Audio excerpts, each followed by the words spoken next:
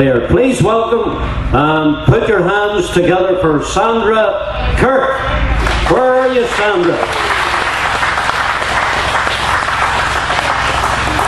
You're very welcome here. Now, for those who don't know Sandra here, she's a school teacher. And my, I always hated school teachers when I was young.